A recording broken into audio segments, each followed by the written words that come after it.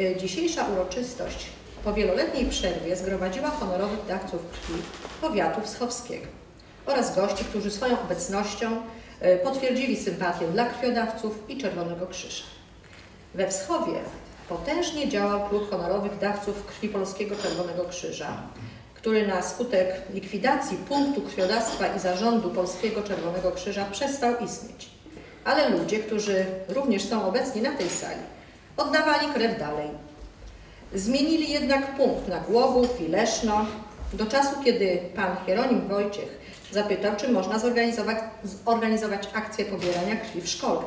E, Obok mnie Hieronim Wojciech, e, pan dzisiaj jako pierwszy e, otrzymał odznakę, ale nie za to, że pan oddaje krew, tylko za to, że pan pomógł to zorganizować. Mógłby pan kilka słów o tym powiedzieć? No, zorganizowałem w latach, no, początek 20, 2000 roku. Y, Na terenie Wschowej nie było klubu honorowych dawców krwi, a młodzież była chętna w, w, w ochotniczym chówcu pracy, jak i młodzież starsza z klas maturalnych. I dlatego podjąłem się tej odpowiedzialnej funkcji i zacząłem działać. A że znalazłem sprzymierzeńców, to się udało. No, były kłopoty, bo w Schowie już nie było takiego e, punktu, gdzie można było krew oddawać. No więc e, zwróciliśmy się do Leszna. W Lesznie oddawaliśmy tę krew, ale e, Czerwony Krzyż z Nowej Soli dowiedział się o tym poprzez moją telefoniczną rozmowę, no i zainteresowali się oni. Czyli Czerwony Krzyż Polski Czer- PCK w Nowej Soli. No i od tej pory do, tej, do dziś tak jest, że dwa razy w roku tych ponad 30 osób oddaje krew. Czyli ja dosłownie tylko pomogłem, czyli zorganizowałem, no a dalej już kontynuują to inni. Ale pan też jest takim dobrym przykładem na to, że krew ratuje życie, bo e, oprócz tego, że pan e, organizował, to też dwa razy oddał pan krew. W jakiej sytuacji? Ja osobiście tylko dwukrotnie oddałem raz swojej córce, będąc jeszcze małym dzieckiem, a drugi raz oddałem kolegi, żonie, która rodziła dziecko i potrzebna była pilnie krew i oddałem.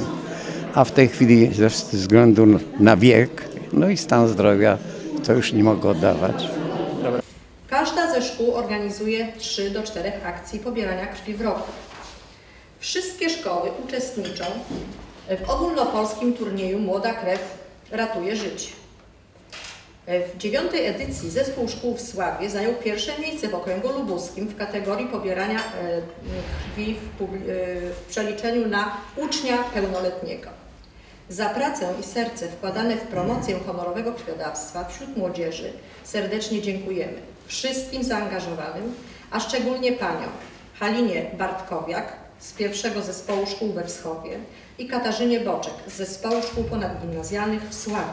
Pani Halina Bartkowiak, organizatorka e, akcji krwiodawstwa e, w Staszicu. E, ile lat już e, ta akcja e, do szkoły dociera?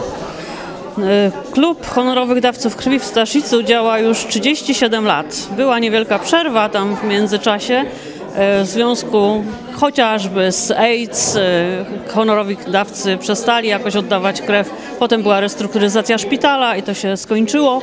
No ale teraz od 2002 roku znowu działamy. Jak ta akcja przebiega? Ile razy można w roku oddać krew? E, no właśnie, jak to wygląda? My organizujemy trzy razy w ciągu roku.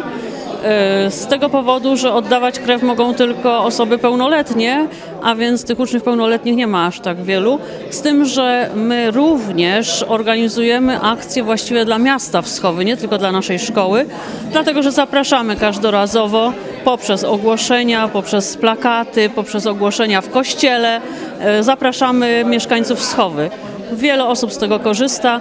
Za każdym razem 30, 35 do 50 osób nawet oddaje krew. Także jest bardzo dużo. E, Mniej więcej tak kilkanaście litrów, około 15 litrów jednorazowo. A można policzyć, ile to już e, w ty, przez tych 37 lat e, było oddane? No nie, w tej chwili tego nie jestem w stanie policzyć. Uczniowie chętnie oddają krew? Uczniowie bardzo chętnie oddają krew. Z jednej, z jednej strony to jako właśnie honorowo chcą kogoś wspomóc, a z drugiej strony no zawsze można się urwać z lekcji. Każda kropla waszej krwi ratuje komuś życie.